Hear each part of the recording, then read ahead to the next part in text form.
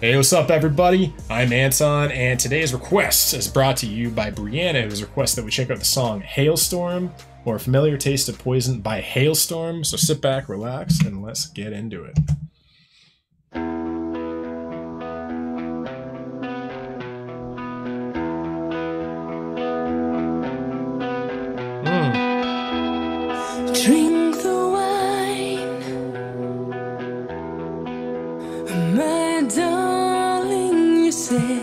Okay, does this remind you of like Evanescence or what? This reminds me so much of Fallen era Evanescence. Is crazy. My darling, you said, take your time and consume all of it. But the roses,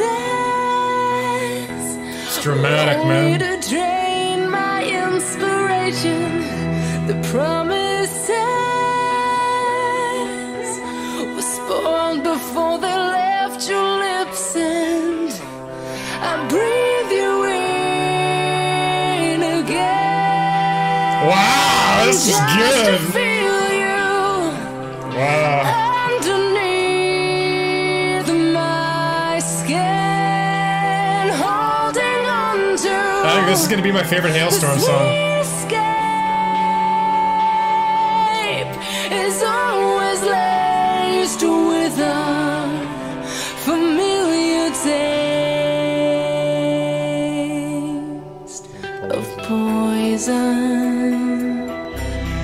I feel like this song's gonna go off later, man. Tell myself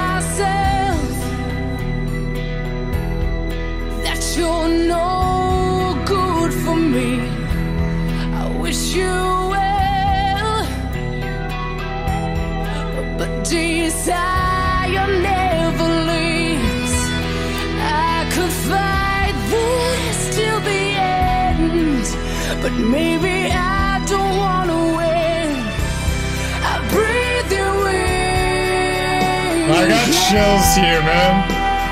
Just to feel you underneath my skin, holding on to the escape. It's always laced with a familiar taste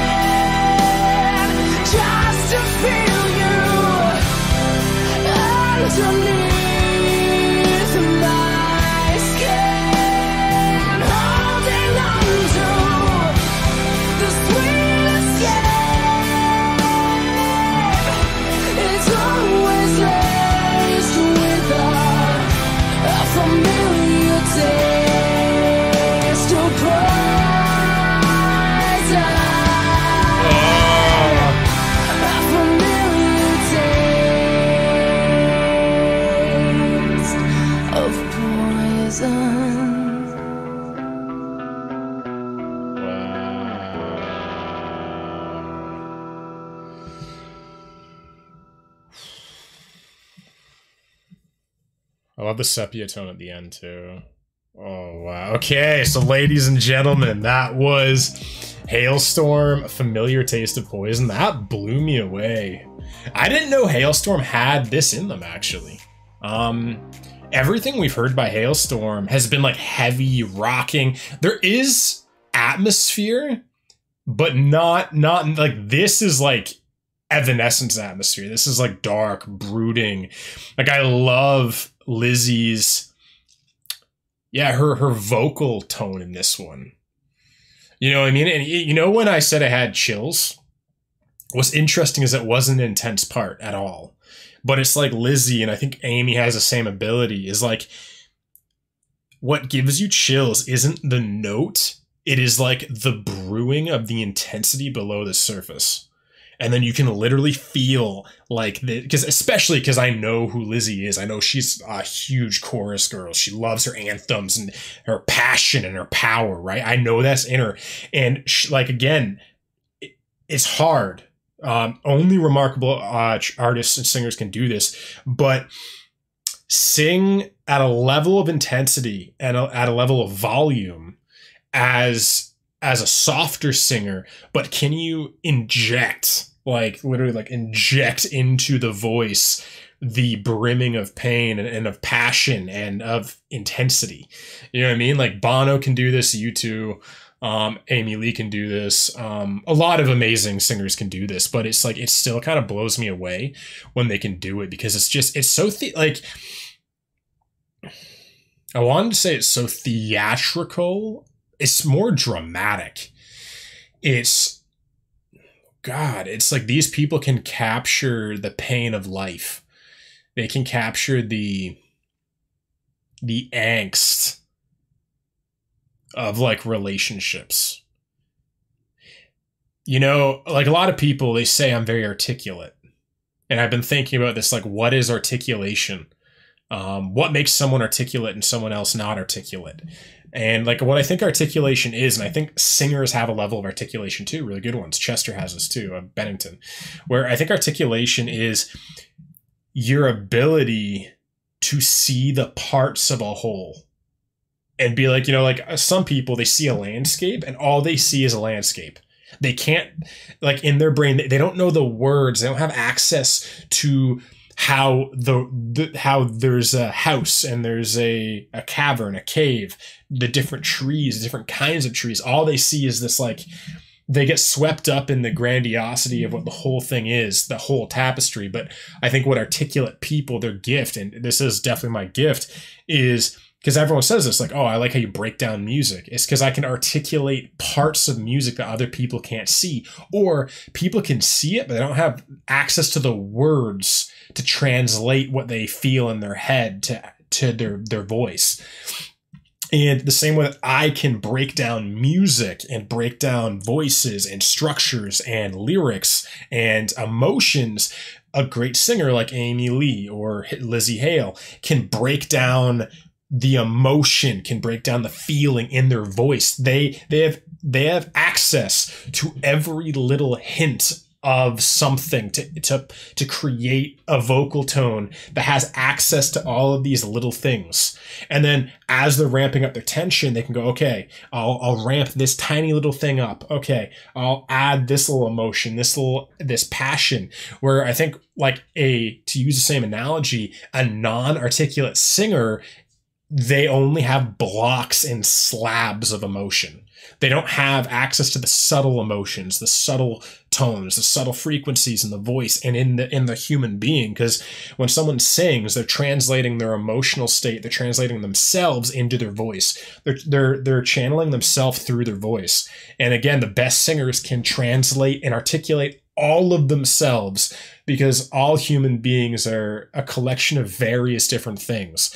We're various emotions, we're competing personas, competing personalities. We have a grounded part of us, a passionate part of us, an emotional part of us. We're all of these things. And again, great singers can translate the whole entity of who they are through their voice. And because I review so much music, I can see when people can't do this. And it just, there's not a a definition to the emotion. There's not a, the emotion's not defined. The note's not defined. Again, a great singer like David Draiman of Disturbed, Lizzie Hale, Amy Lee can do these vocal acrobatics. And again, because they can articulate individual notes. Some singers that aren't as talented can only go up and then down. Where like David Draiman Disturbed can go up, down, up, side to side. Like, you know, great singers can just do this. They can take you on this like spiral of how they articulate a note. And again, it's just the best singers in the world. And yeah, th- this was this was incredible. I like I said, I didn't know that Halestorm had it in them to create such a atmospheric piece of art. You know what I mean? I, I just I didn't know Because again, I'm so used to rock, hard rock, Halestorm, this is a beautiful change of pace. I love this. I would love to see more of the brooding side of Halestorm because again, Lizzie, she she's so u- often utilizes rage as her emotion and anger, and it's really cool to to see her articulate again the more subtle elements of anger. Like this still again there's still anger there's still seething of like you crossed me you hurt me you destroyed me i'm addicted to you. But it's like it's more subtle elements and hints of emotion than the fuck you you know i mean that we're so used to in rock and metal sadly um, a lot of rock and metal is the reason why rock and metal is probably my favorite genre is because of the access to the broad spectrum of emotions that has but so much of rock and metal is still just locked into rage we're locked into anger, locked into self pity and victimization. And so I just love artists who can give you such a broad emotional spectrum. It's just it's so exciting to me. Um, but let's let's see what do we got here. Yeah, let's jump in the lyrics now with this one. All right, we're back with Halestorm, a familiar taste of poison, and right off the get go, um, I think the the music video is different than the lyrics meaning in this one. Um, music video is about it, uh, like someone poisoning and killing somebody, where I think that's like the physical representation of what the lyrics are about. I think what the lyrics are about is the slow poisoning of a human being in a toxic relationship over time. Um, the familiar taste of poison, your abuse, the way that, yeah, again, you abuse me, you traumatize me, you manipulate me, you cheat on me, all these things. And over time, these subtle layers of abuse, they poison me until I die, until I'm a shell of who I used to be. I'm broken. I'm shattered. Where again, the video took that more of a literal perspective of someone poisoning you. But again, I think I think I could be wrong, but let's jump in this and see if I'm right on here. So drink the wine, my darling, you said. Take your time and consume all of it. But the roses were only to drain my inspiration. Yeah. The promises were spoiled before they left your lips. Again, I love the lyrics. Very poetic, very dark, very Edgar Allan Poe-esque. Um, what's interesting is Amy Lee from Fallen. Um, she didn't Amy's a poet too. But Amy, one thing I noticed about Amy and Lizzie, just, and again, Lizzie, there's different layers to people, but Amy blames herself, and Lizzie usually blames somebody else. Um, this is just going up by the couple songs I've heard by Halestorm. Is Lizzie's more externally focused, Amy's more internally focused. Um, one reason why I relate to Amy Lee so much is because I'm more internally focused. Um, like I even did a pit podcast yesterday that was very confronting to me because the guest I had on was very unusual for what I'm used to. And it was it was very confronting. And I blamed myself after it for losing maybe a little bit of composure, a little bit of warmth that I'm I'm used to having so much of. I'm used to being very even keel and being able to provide so much warmth for people. But when I don't have access to that, it's like, okay, what did I do wrong? Where to use the analogy, someone who's more externally focused would blame the person they're talking to as the reason why they don't have access to their own warmth. But I'll, I always take it on myself, like, okay, how can I maintain my composure and my strength in any scenario with anybody and still have access to all of the aspects of my personality all the time? So just an interesting thing I noticed there. Um, I breathe you in again just to feel you underneath my skin, holding on to. I breathe you I breathe you in again just to feel you. Again, toxic, trauma bonded relationship. Underneath my skin, holding on to the sweet escape is always laced with a familiar taste of poison. Oh, that's beautiful. The sweet escape is always laced with a familiar taste of poison. The intimacy, the sexuality, the the emotions we feel together when we're together is always laced with toxicity it's like the love, the sex, everything is enrapturing. It is, it's like a drug. It's like heroin. It's like it takes you in this new space, but it, it takes something from you as well. It takes your integrity. It takes your self control because now you're relying on that person for that high. I tell myself that you're no good for me. I wish you well, but desire never leaves. Again, it's like, yeah, sounds like a drug. I, I could fight this till the end, but maybe I don't want to win. Maybe I want to give in to this addiction the heroin is too nice. I don't want to be saved. I don't want to be sober. I want you on my mind, in my dreams, behind these eyes. I won't wake up, no, not this time. A familiar taste poison. Brilliant, because I've actually, I was in this situation with somebody six months ago. Yeah, somebody crossed my path and we had a really brief uh, fling or whatever. That's exactly what it was. It was like, I was like, okay, I know this is not good for me. I'm losing myself in this, call it mini relationship, but I was so addicted to the high that we had together that I completely lost myself in it. Then I had to I had to cut it out and yeah, say goodbye. But yeah, I was even in this six months ago, and it it's crazy because yeah, it's like you know it's bad for you, but it's so addictive. The high, the way it literally lights up your entire body physiologically. When I would think of her or think of whatever. It was like it would literally I'd feel this jolt of electricity surging up my body. Like I'd literally almost be like fucking shaking. Like literally I felt like an addict. And I've been in this situation before in certain relationships, and I always know it's someone who I'm trauma bonded with. My traumas are a perfect fit for their traumas. Like I'm, they're usually love avoidant. I'm love attached. I'm I'm seeking validation and love. They're afraid of it, and so it's this dance of this hot and cold push and pull. But man, this was Halestorm's, a familiar taste of poison. Absolutely brilliant song. What do you guys think of this one? Let me know down below. And now, if you want to continue our Halestorm journey, click right here. All right, see you in the next one.